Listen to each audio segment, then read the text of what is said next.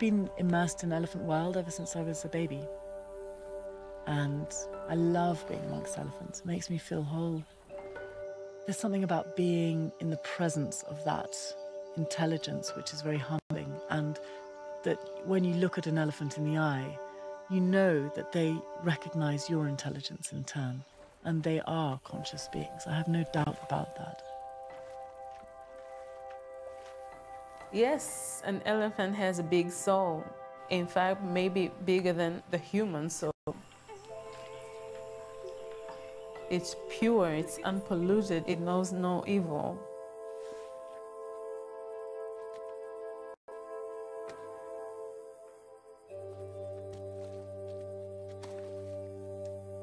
Maybe they have more because we, as people, have forgotten to look after each other. The question should really be, do we have souls like elephants?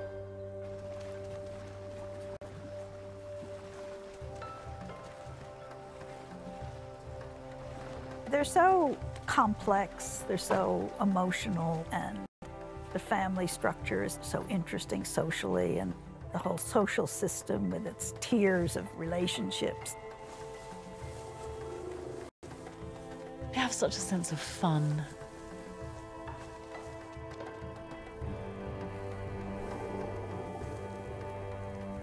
once you start getting to know them, you really recognize them as individuals.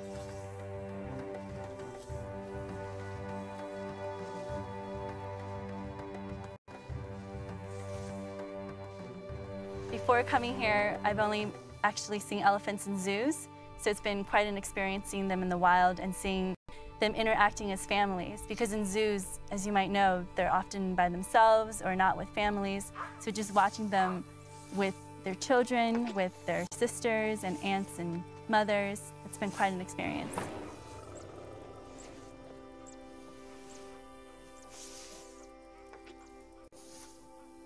When babies go into a hole or they run into trouble, the response the group has towards you know an animal that is in trouble is amazing. Everyone stops its activity, everyone stops the food is eating, everyone stops everything. Everyone rush there quickly. Like, what is the problem?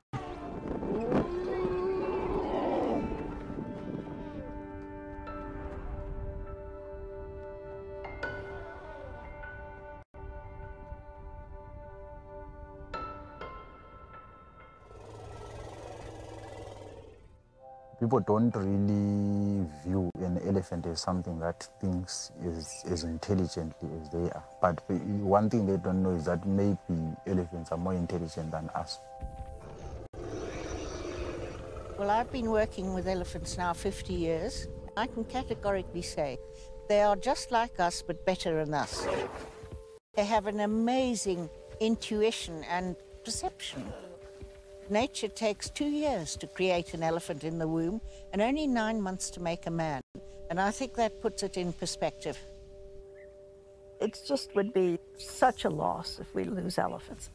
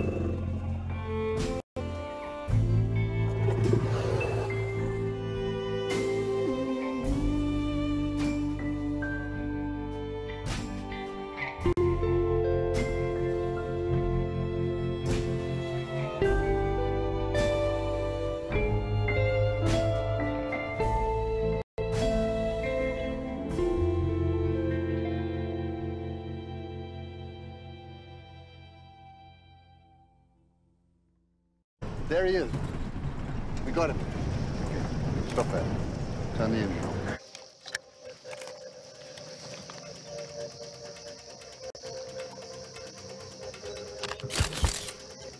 You might have to get out of here.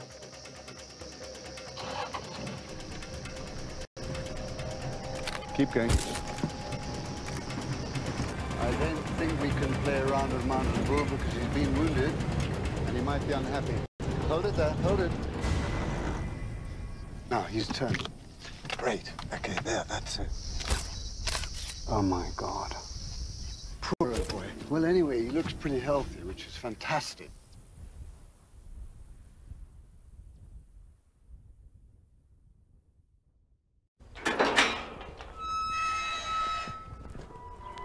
Mountain bull is an animal that we selected and we have been following every day.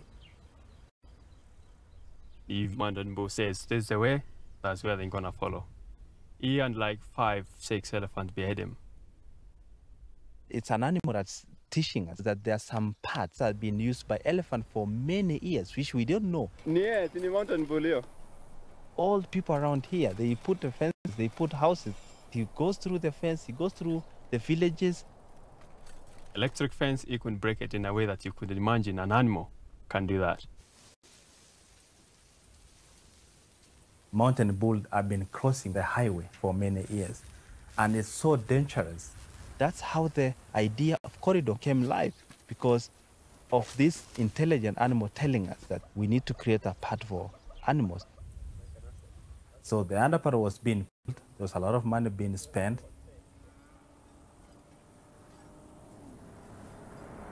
We have been praying when the corridor was not there that it will not be hit by a vehicle anytime.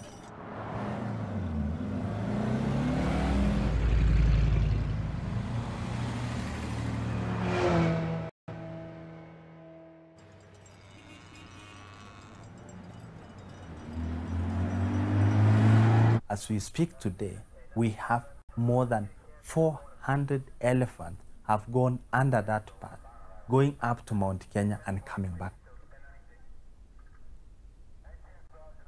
Mountain Bull's one of our key research elephants. We've been studying him for years.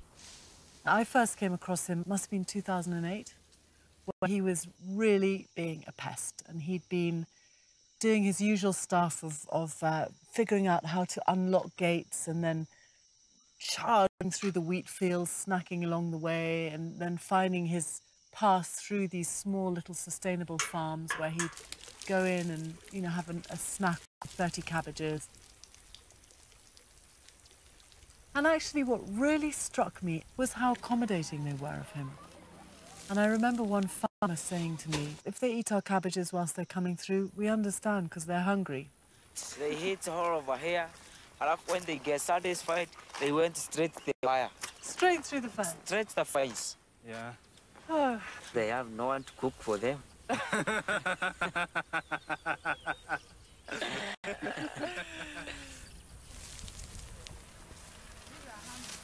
But that didn't make it any easier for the farmer because they'd had half of their crop taken out by him.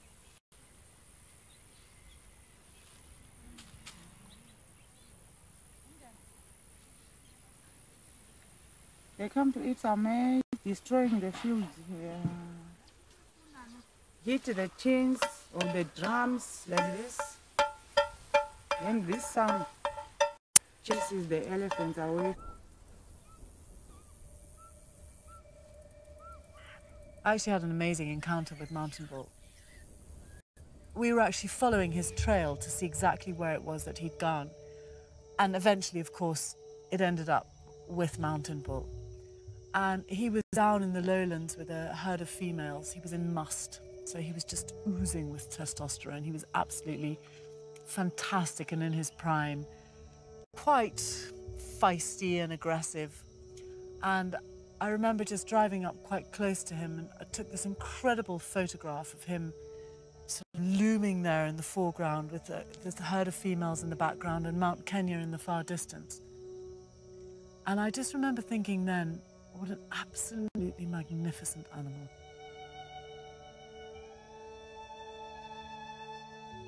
A living, sensate, intelligent creature which really took your breath away.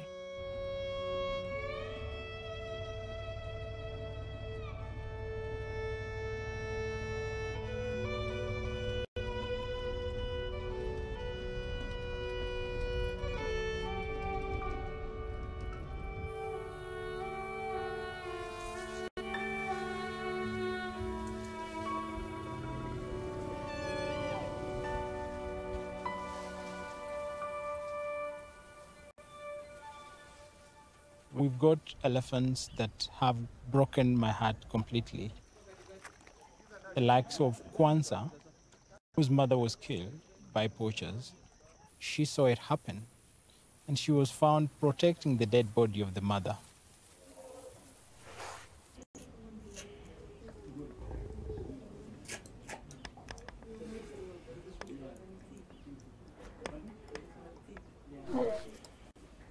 This baby elephant is approximately two months old. She was separated from her family. We suspect that her family encroached on human farm. She was left with four spear wounds. She is in lots of pain.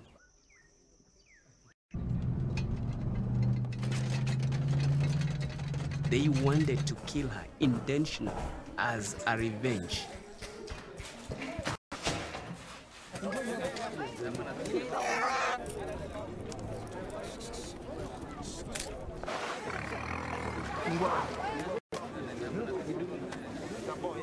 So you can imagine a, such a tiny young baby elephant being speared brutally, just like that, with human beings.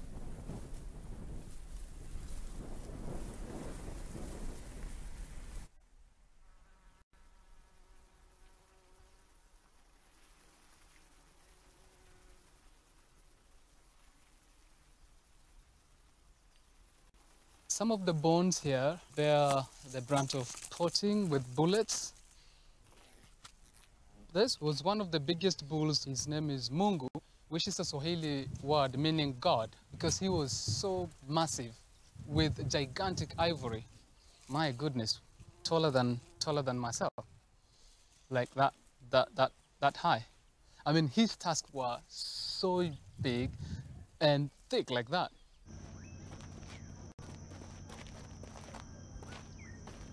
These are obviously huge tusks. They weigh in a region of something like 35 to 45 kilograms, and um, they represent some of the, once upon a time, vast herds of savanna elephants.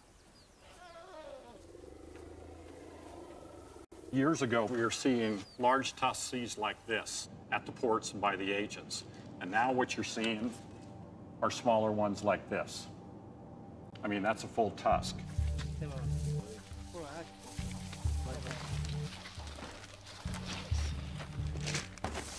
The average age of the elephants came up six to seven years old.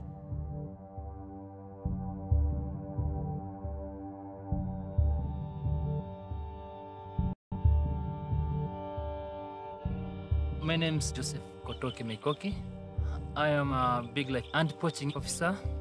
In 10 years to come, more there will be no elephant in this world because the poachers are getting 8,000 to 12,000 shillings a kilo. There's a difference between human-wildlife conflict and poaching. Poacher comes direct purposely for elephant, looking for money. Elephant ivory goes to these Arab countries or the Chinese.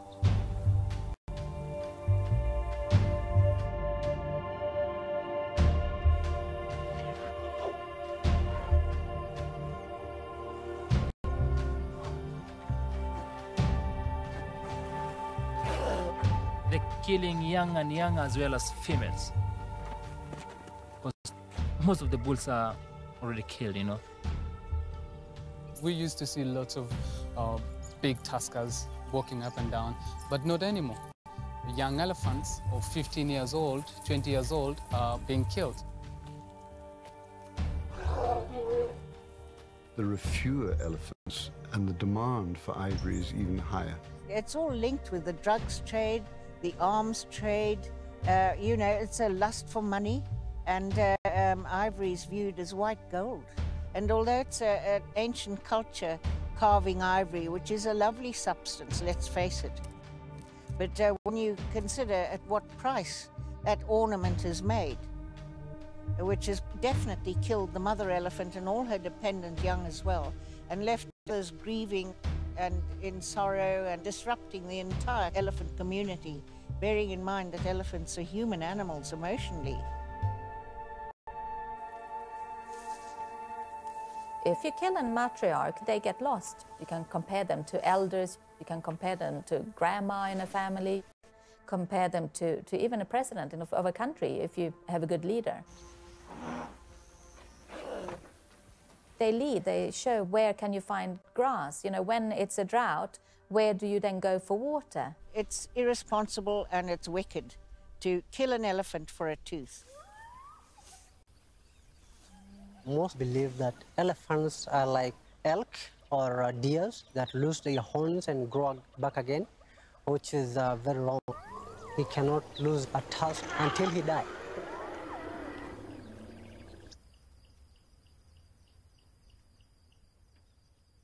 Even that tiny little stump of a tusk, it's worth money.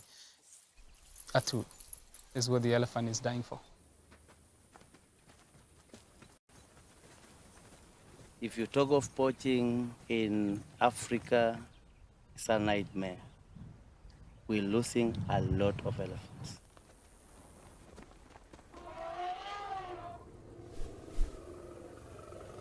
In Mozambique, they are losing like maybe 50 elephants a day. Every single day, certain numbers of elephants are poached. But we've seen statistics that say 30 elephants a day. That is, that is bad.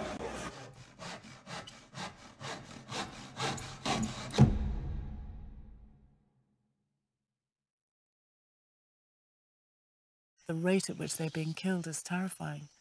Obviously, some places in Africa are much worse than others. I mean, what's going on in the Congo Basin is just absolutely beyond belief.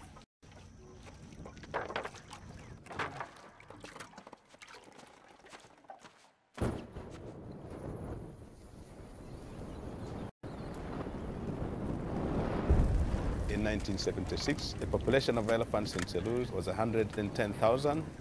It is unfortunate that the poaching wave unfolded and the population of elephants sadly has now crashed to 13,000. And where, where are these? Is this uh, Tanzania? Yes. All from Tanzania. Wow. Which which area is it? Hmm? Sagu. Where's that? Oh, Selous. Ah, Selous. Most of the elephants that get poached in most cases are living in photographic safari areas. So the problem we have with those elephants is that when they venture into hunting areas, they come across human beings, they can actually walk up to them. But the problem is that they become sitting ducks for poachers because they don't run away from human, beings. They don't have a problem with human contact, so they are easy to shoot. My name is David Daballen. My position is I'm Field Operation Officer for Save the Elephant. My main work is actually to go out uh, on daily basis, look individually and follow their stories, their birth, their death. Basically from 2008, um, trouble started there. And 2010, 2011, 2012, things were so bad. You know, we were getting elephants being killed right, left, and center in the park, outside the park. In, in some areas, you can actually find a heap of three elephants on top of each other. I've seen the whole thing right from the start when the first national park was formed in 1948 in Kenya, right until today. And I can categorically say that I don't think it's ever been more sinister.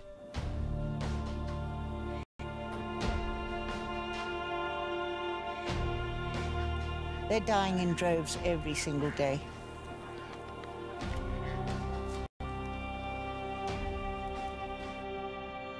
So what we have here is mainly African elephant ivory that's been seized by our agents in operations and by inspectors here in the United States. Those small carvings, you're talking $10,000. It's very hard to come up with an estimate. Just looking at it, you're talking probably tens of millions of dollars is what the value is on this.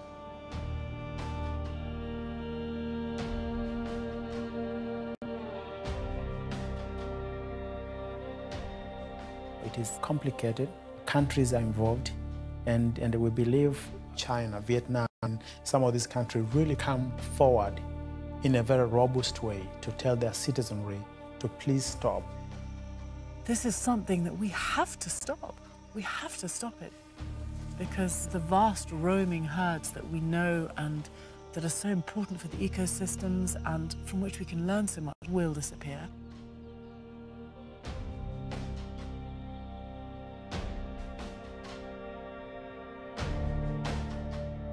The way we tend to describe this uh, situation is a holocaust of elephants.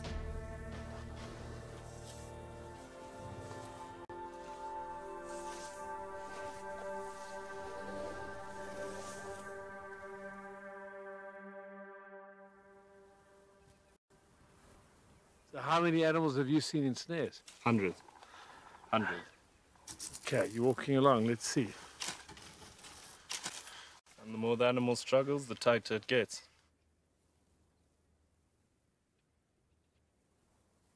If it's caught on the trunk, might not necessarily be cut by the wire, but the lack of circulation will make the trunk rot and fall off. Hmm.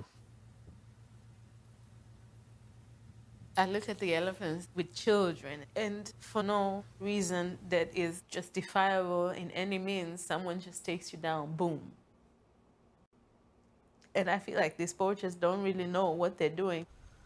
Eh, kuna trip sio chini ya kumi eh. ambazo kila trip moja nyingi tulikuwa tunafanikiwa kuwapiga wa saba eh. nyingine mpaka ishirini Kwa nyingine- trip? kwa trip moja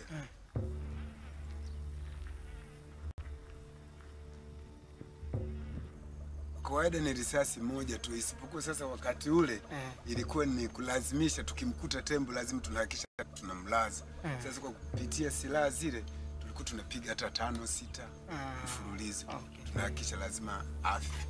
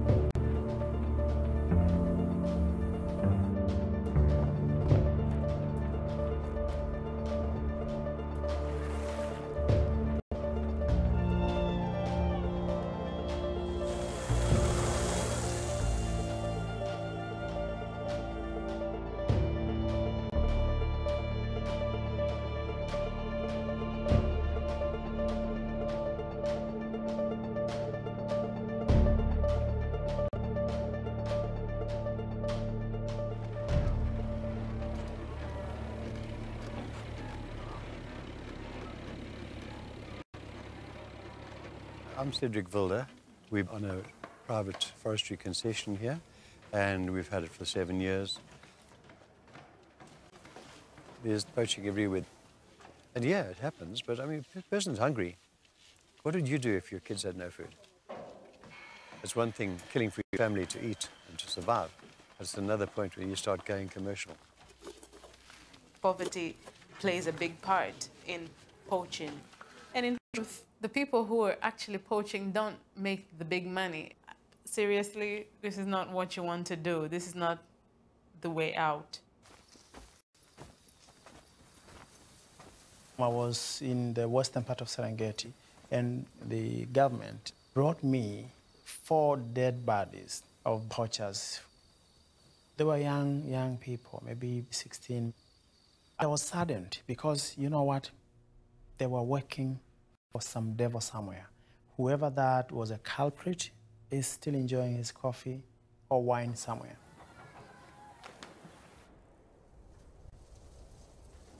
Exploiting the poor.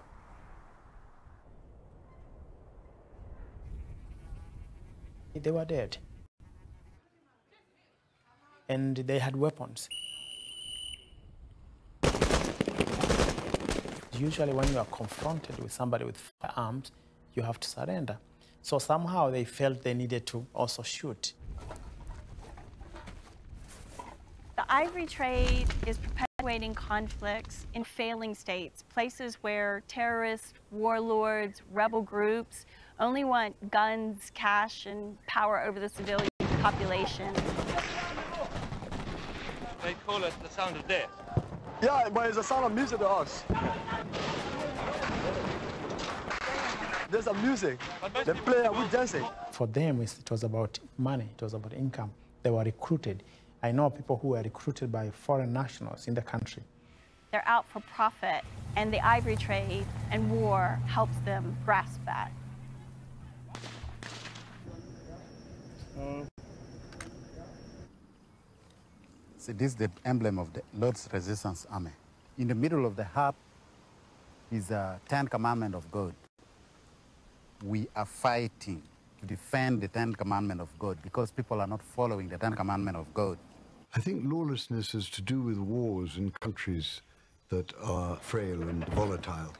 So, in much of Central Africa, the presence of unstable regimes, roving bands of notorious armed groups who adopt the bandit way of life. They make them trust who they are. They get into this dark business. These are wars today that are no longer about ideology or liberation or fighting tyranny. A lot of these wars are about organized banditry on a large scale, and the ivory trade plays a major part.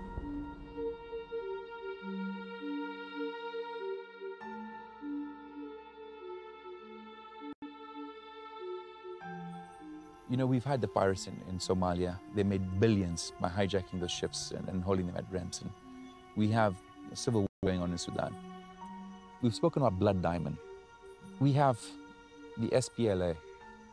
We have the LRA. We have M23. We have Al Shabaab. I mean, these are just a few of the groups that are operating around East Africa. There definitely is a connection between ivory and terrorist groups. The Mai Mai in Congo, um, Interahamwe, at the Janjaweed, they're all people who have been using ivory to fund their activities. The toll on the wildlife was already there. You know, we, we certainly saw a spike in everybody going out to the bush and shooting game so they could feed the militia. You have refugees, you have meddling neighboring countries. These are real concerns for a lot of the African people. You have people who are trying to profit from war, illegal arms traffickers bringing in weapons, smugglers who are taking out ivory, rhino, diamonds, gold, whatever the natural resources are.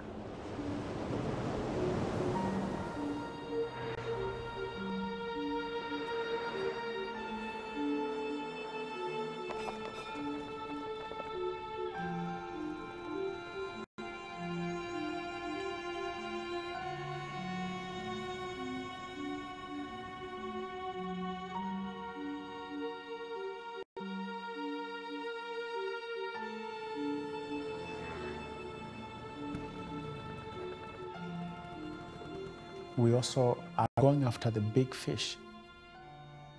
We've actually brought Chinese nationals that we hire to pose as buyers, and they help me catch bad guys. So because of some of these intelligence um, operations that we are running across the country, we are making it very difficult for the ivory material to run.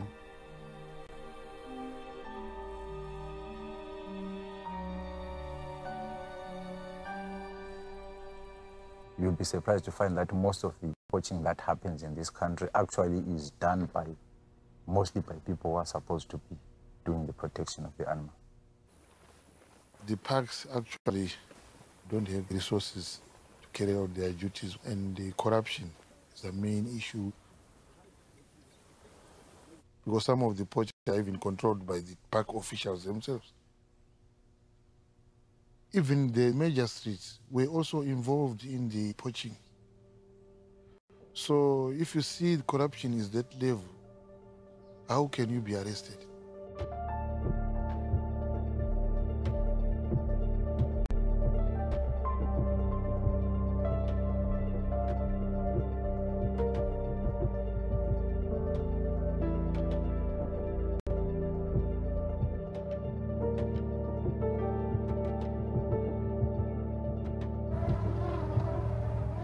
Problem with speaking the truth in Zimbabwe is that we can pay dearly for it, especially speaking against things that uh, the government doesn't want people to hear. You know, my dad, he's 72 and he's had a, a tough life. He's lost his whole life's income and work.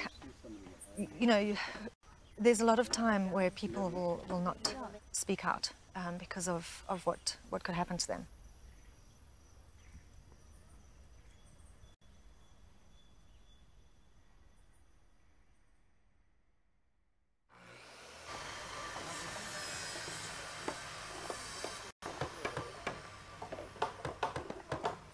Basically, we've lost our camp. We had a fire. Oh, God, we're heartbroken. Oh, we'd only been open 10 months. And then to find that we've got to start basically all again, but in another month, we'll have finished. So now we just start fresh again. It's, hopefully we sort it out. When you are born in a country, it is your country. And no matter what happens, I will not leave. They can do what they like. I'm third generation Zimbabwean. My great grandfather came here in 1870 and he hunted with Selous. We love this country. It has so much to offer. The elephants, the so called presidential herd, and uh, the great massive herds of, of Hwange. It, it's hard to believe that anybody can say that they are in charge of the elephants. We are all custodians of the elephants. I try and do what I can. I just want to know that I can one day look my kids in the eye and say that I did everything I could to save the life in our area.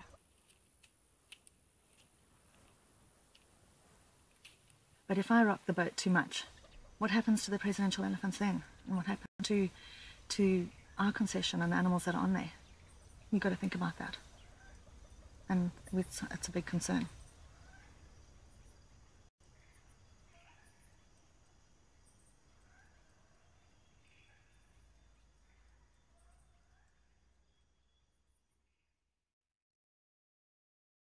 What do you say, Peter? Why, why don't you want to speak about things here? Hey? Seriously, what do you say? When we're gone, there's no one to protect him. Peter, anyone who speaks out against anything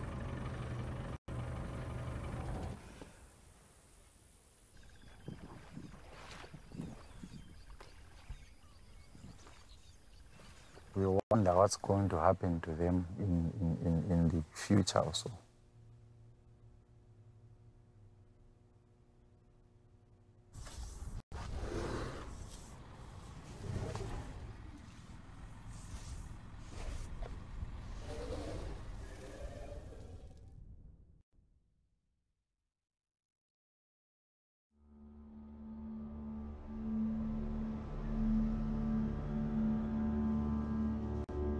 The Chinese have come in. Uh, we've opened ourselves up to China. They brought in a lot of infrastructure development. The superpower of Africa, not just Tanzania, are the Chinese. They own Africa.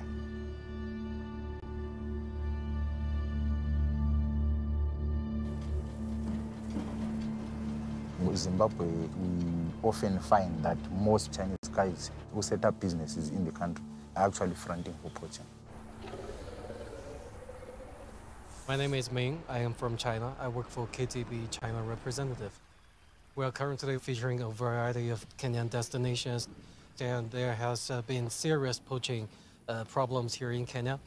We have heard the saying that uh, a lot of Ivories are going to China, but uh, I am not sure of the fact because we haven't seen very much official reports about the statistics.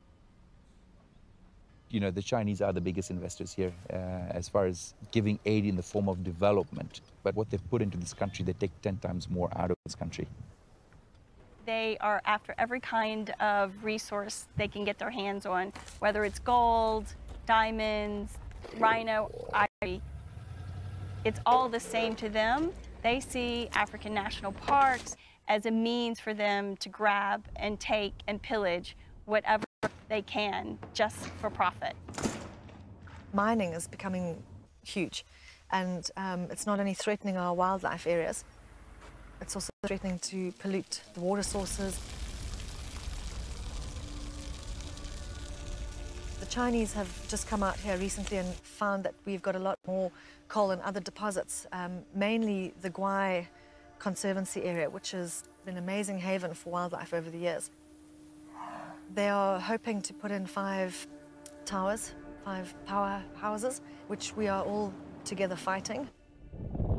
We're trying to um, put a stop to that. Unfortunately, with mining, there's so much money involved.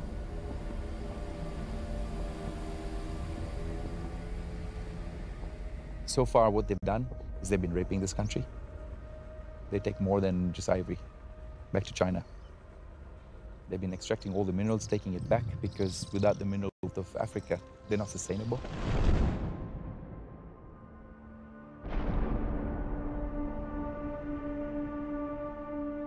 They're taking everything and anything. It's a problem because it's going to destroy a lot of the beautiful areas that you drive through to get to Hwange, the teak forests. And with that, when you start to develop little communities, there will be an increased threat of deforestation and increased threat of poaching.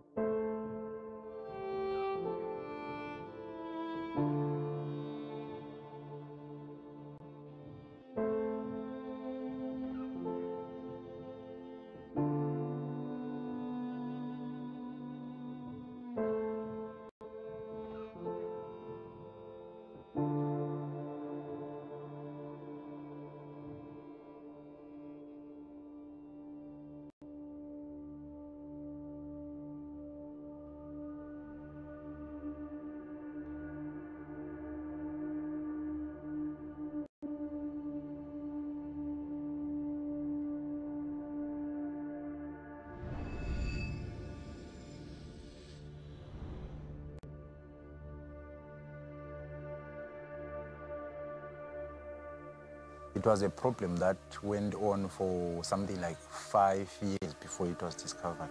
So the result is that the death toll from cyanide was very high. Cyanide is used in the processing of gold.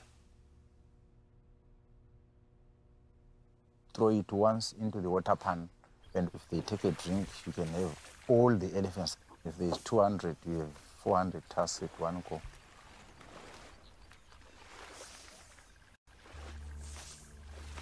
It wasn't just one incident. They have uncovered probably three or four separate instances.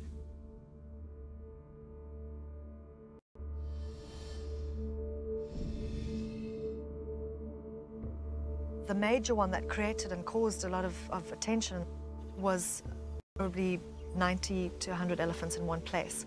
Cyanide is a problem in that the animal dies in such pain, and these animals die in large numbers. It's not just elephants, but any other animal that comes to share the same water hole.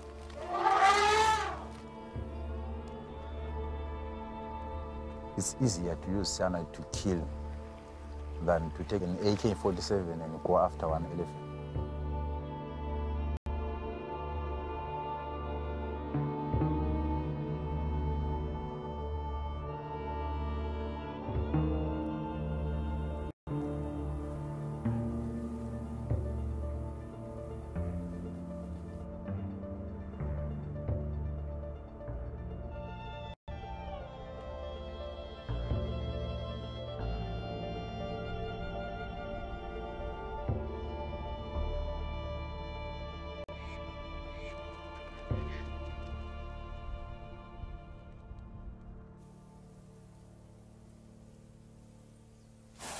The elephant psyche, this is like this giant net that stretched entirely over Africa.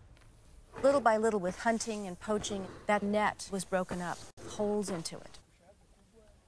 With the emergence of epidemic PTSD, their physical extinction is happening, but what we're really seeing is the psychological extinction has preceded their physical extinction.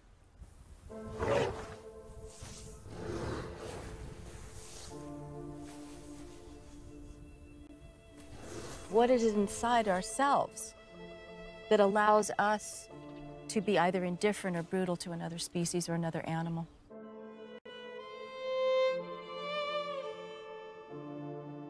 You're seeing people coming to Africa and they're seeing elephants who are severely traumatized. Tourists come and they see that. And if we had the equivalent here, it would be like going to an insane asylum or going to a concentration camp or going to some other kind of facility where you're looking at refugees as a fun tourist trip.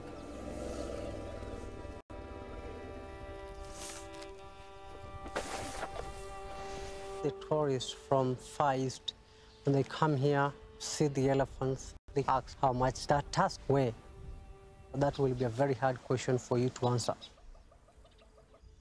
Parallels with- with human beings in war, you can't help making that link. You see these desperate situations of a long-lived animal that has extremely strong attachments, emotional attachments to members of its family. You see that ripped apart, so the emotional cost is huge. When you talk about the behavior of elephants, I'm totally sure the poaching is disrupting the families.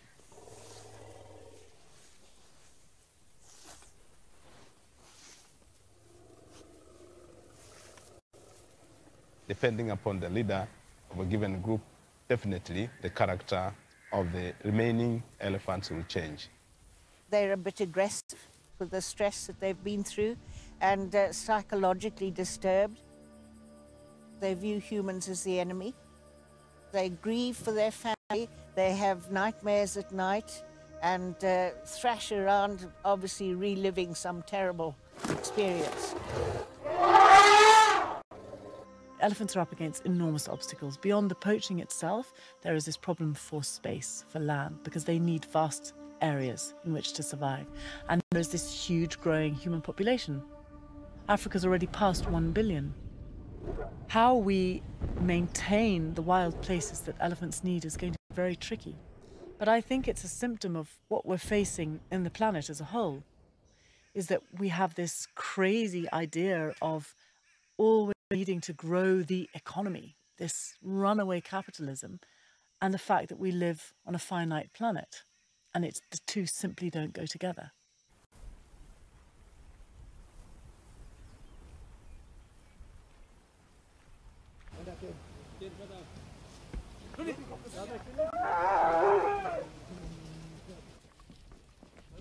All these little elephants in the nursery are all less than two years. They are highly intelligent animals, much, much smarter than a human child of the same age. We have a group that is being fed after every six hours, and then the little four are fed on demand. So they are all anxious, they all want to go home and have their milk. Everyone wants to be number one to the stocket. That is all they are fighting for the first position. They all want to be in front. We've raised over 150 elephants through this nursery now, and most of them are victims of poaching. And this is just the ones that are found. For every one found, there's probably a hundred others that are dying out in the bush that are not rescued and not found in time. It depends very much on the situation of an elephant after it has gone through a traumatic event. I think there's a lot of anger there and a lot of post traumatic stress. Elephants here in Samburu who are suffering at the hands of poachings, they certainly have those same uh, deeply traumatic experiences, but because they're still within their society and they still have this very strong social glue and they have the influence of older elephants who may not be related to them around them, I think that helps to keep a cap on some of the more extreme behaviors.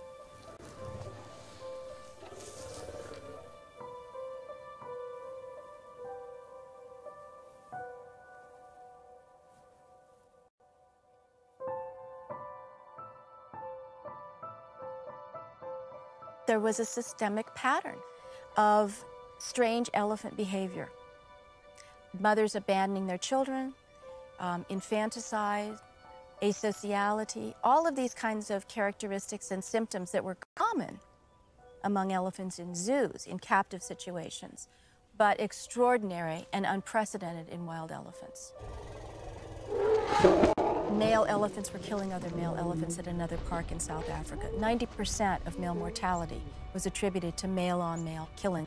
Never had happened in Amboselian quote unquote natural conditions. There's been a lot of interesting studies of these orphaned elephants. What was happening was they were coming into musth very early because it's really psychological. The big bulls suppress musth in the younger bulls. And they feel that they're more dominant elephants around, but they have at least 10 times as much testosterone when they're in musth, so they're just surging. It's a dominance thing, hormones and aggression.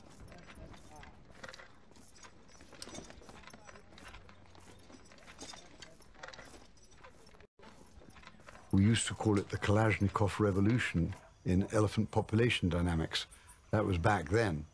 Well, it's only got worse.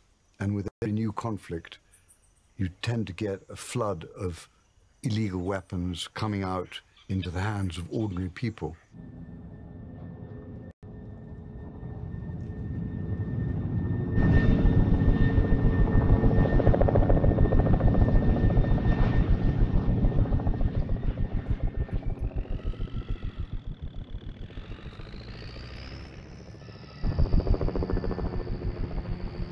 Ironically, so that I could find out more about the ivory and rhino wars, I attended the largest exhibition of weapons in South Africa.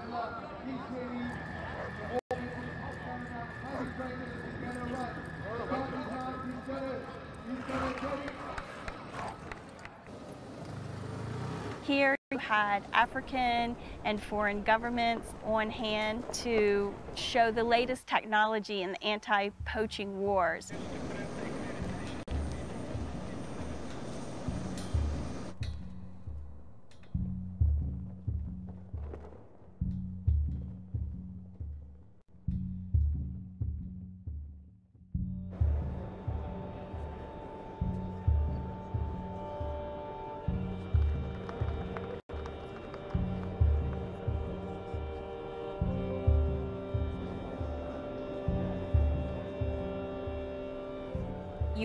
Need the cover of a legal trade in order to peddle your illicit activities. It's a place where the legal and the illegal meet, and it's very difficult to know who is really part of the shadow world.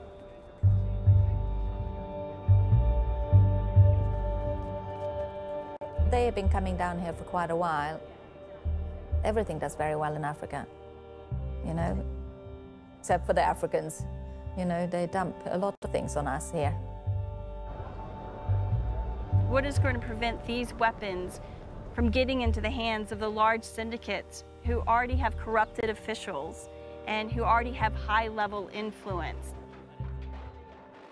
So you can open it this way, use uh, shot by shot, so single shot, close it, double action.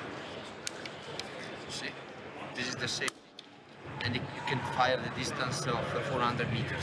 When you have, uh, for example, to, to stop a truck or to say enter into a house and break the door, or to to stop, let's say, a car, because the power, the stopping Right, okay. power is much higher than a shotgun or than a rifle.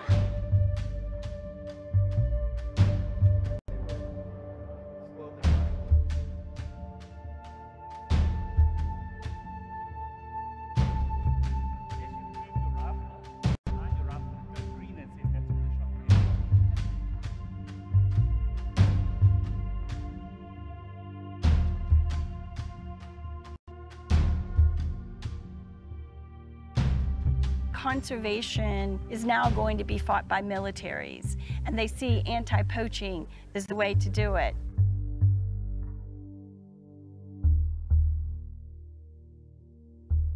It's a bit frightening to see conservation morph before our eyes into something that wildlife managers and rangers and people entrusted with the care of animals for so long that their role is being usurped by military, special forces, and by weapons companies that want to bring in the latest technology.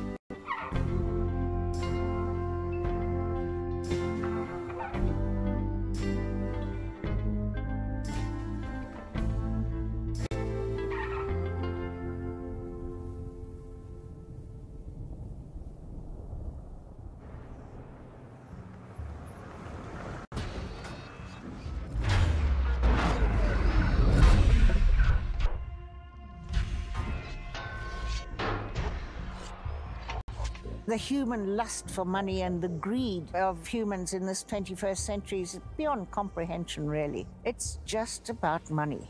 That's all they want. And uh, they never seem to have enough. This is the sad part about it. And of course, the problem is at the other end, in the East, in China and Malaysia and places like that. And only the international community can bring pressure to bear on those governments to desist from annihilating Africa's elephants and rhinos.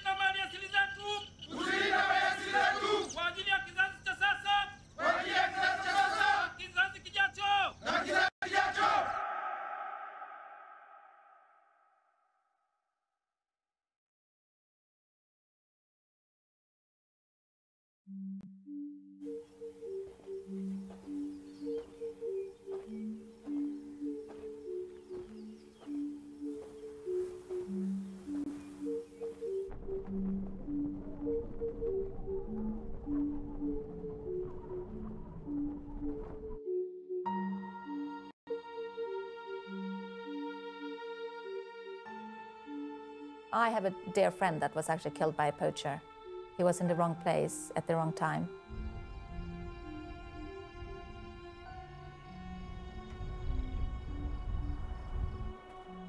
They came across a bag which was lying under a bush.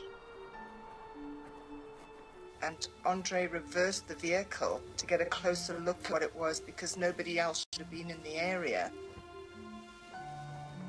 And in the bag, there were four very small elephant tusks. And all of a sudden, there was AK-47s open fire on them.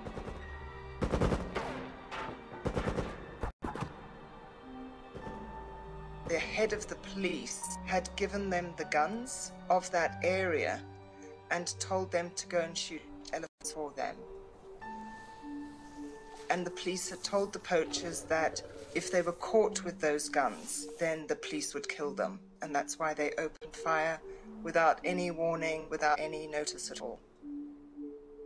We also know that there are people in our ranks and file who have been collaborating with poachers. The guys who are asked to go and be poachers that we fight, we kill. Every time I send my groups, they kill these boys and, and girls who are poaching. Their blood will be judged upon somebody.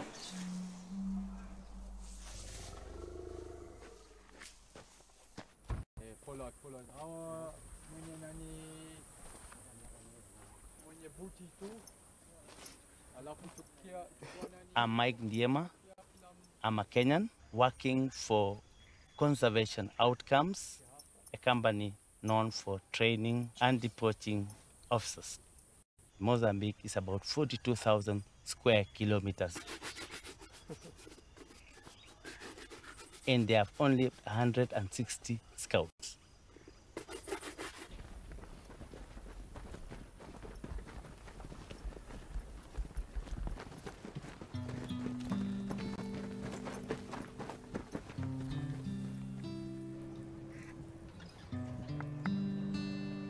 You know, we're permanently short of equipment. You know, you You know, we need more GPSs. We need to change our boots more often. We need to change our cars over more often. You know, they start getting tired and old. They break down when you're in operations. So,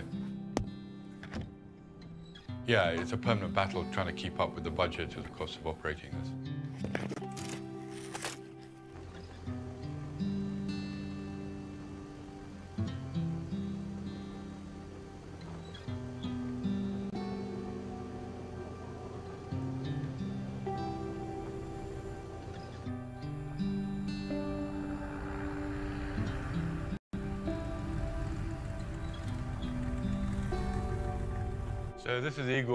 Was one of Nick Brandt's favorite animals when he came to photograph in Amboseli. Igor was killed by poachers, which is what actually triggered Nick to get involved in the whole conservation world.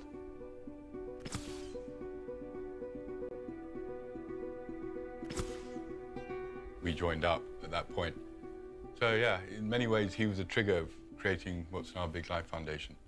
These are the records of elephant mortalities going back to 2011. Um, the ones in red are poaching cases, the ones in green are human and wildlife conflict. Last month we lost two to poisoning. And it's so easy. Once you know an elephant's route, you just have to lace a melon or a pumpkin or something with a teaspoon of poison.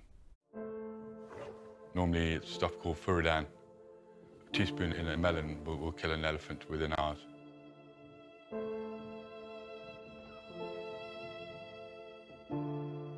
But it can, if they get a small dose, I've seen elephants take about two weeks to die.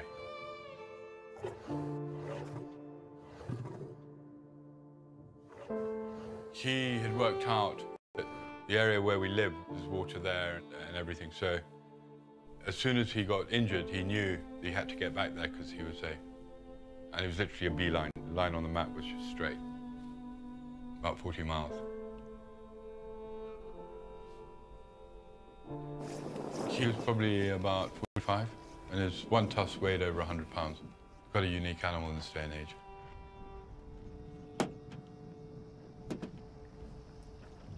I'm pissed off. but I think we'll fix it. Where's my...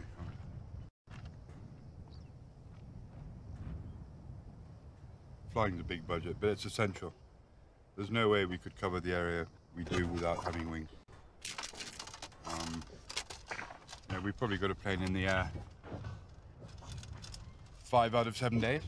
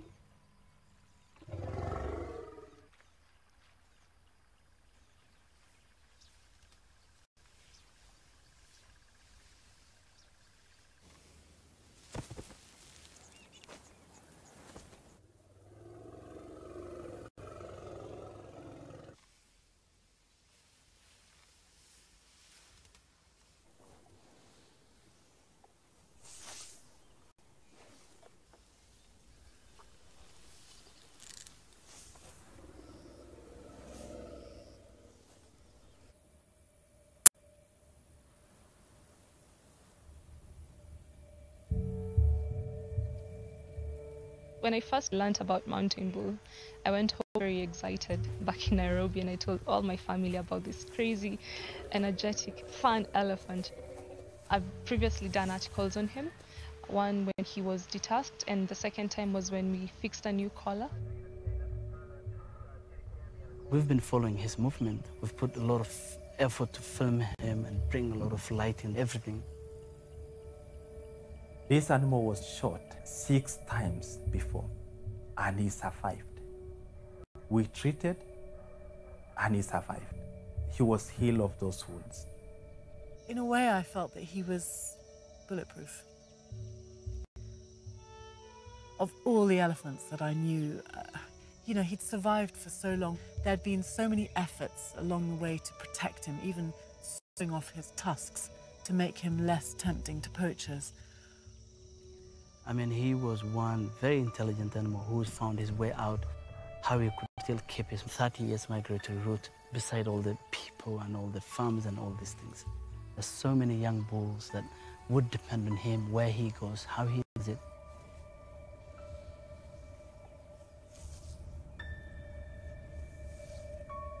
When I heard that Mountain Bull had been poached, I was just devastated. I couldn't believe it. Of course, he was just as vulnerable as any other elephant. As a person who have known Mountain Bull for the last 10 years, I feel so terrible that actually he died in the worst way possible. They have this massive, heavy, very sharp metal that they're just actually waiting from above. And as soon as the elephant walks under the tree, they just let it go down. And as soon as it gets in and he runs away with it, it just keeps cutting him. Some, sometimes we don't believe that mountain bull have died. The collar, it's, it's the one that's telling us that, you know, he's no longer there. And it's really been pain and been sad for entire team. I don't, I don't have words to explain, When you're a writer, you have to collect information about these animals, and you tend to get attached because they have. Su- he had such great personality. He was so charismatic, and I never thought I'd write a story about his poaching ever. Mountain bull is dead, and when I went there, you know, he is a huge animal. I was so shocked, and I love them. I really love them.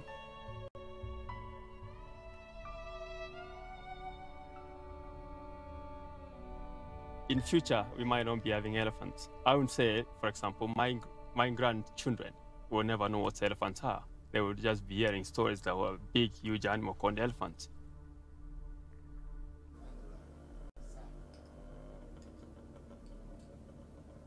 And I think what his death really brought home to me was that that was one elephant that we knew particularly well. But there are 33,000 other elephants just like him that are dying every year, maybe more.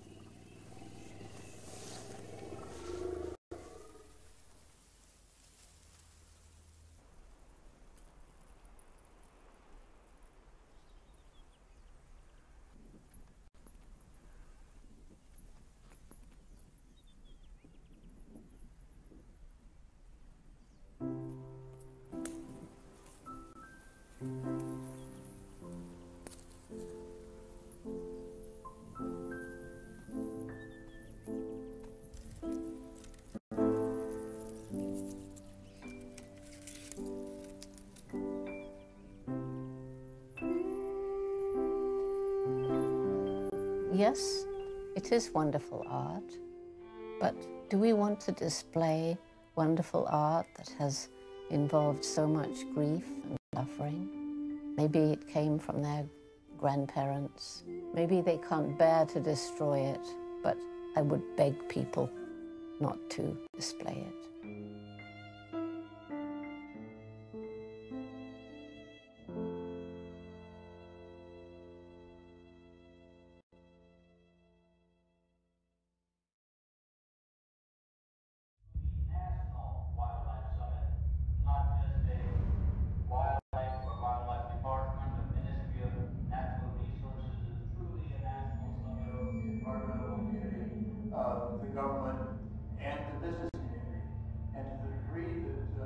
We need to talk to people in a language they can understand.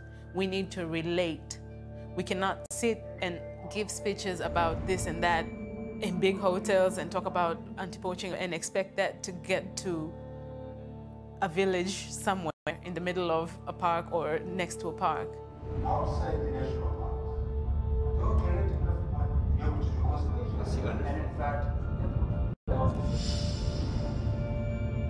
Catholic Church in Tanzania. Ah.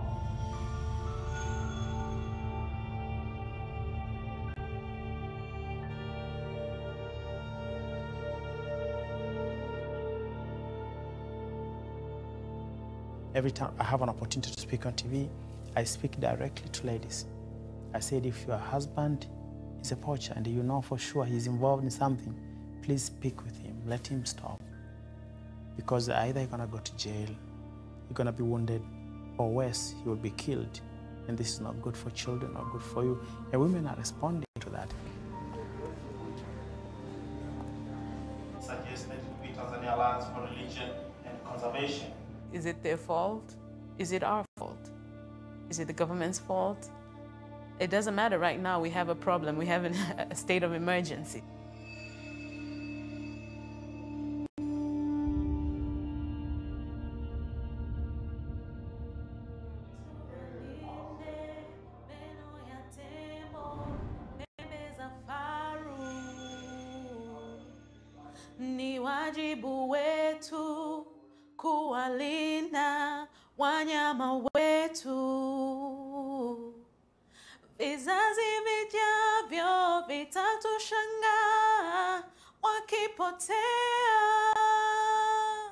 Would try to do maybe through radio because they do listen to the radio a lot, um, and try to explain that um, you know this wildlife, you know, they have every right to be here.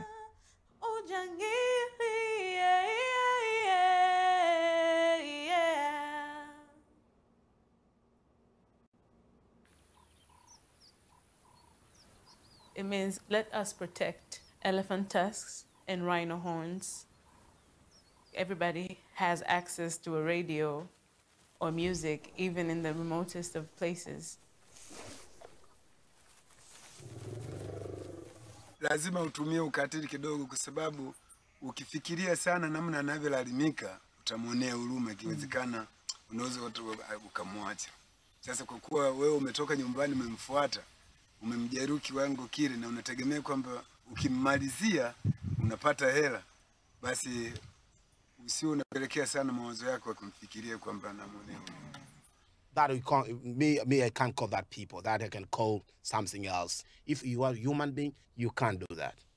Whatever I write here, it's coming from the heart. I'm a poet. This is me. I want to speak myself. I want my voice going out about animals. kilio,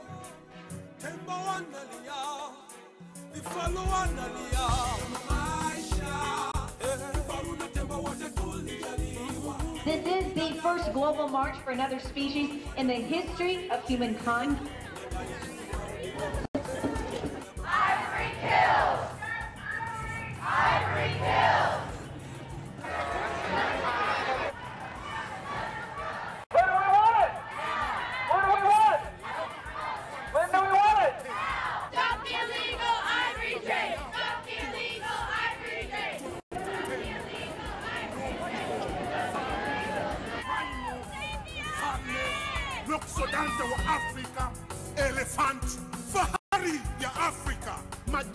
Sifa nyingi tunawapa, kumbe lengo letu tuwaue.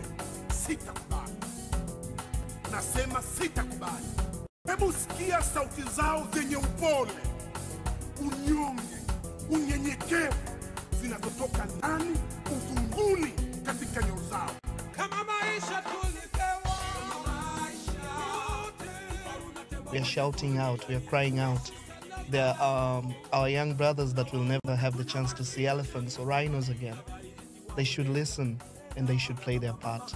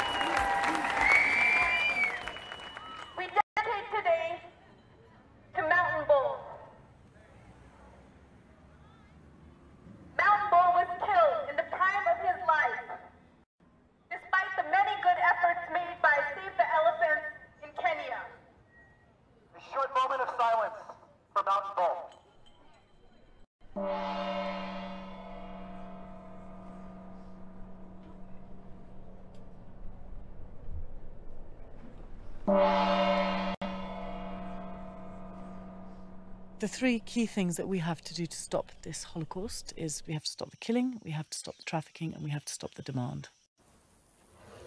And I think we need to build on that to get this African voice coming out that is shouting in favor of elephants to the world because it exists. We're losing ground, but we have to just keep on fighting for as long as we can.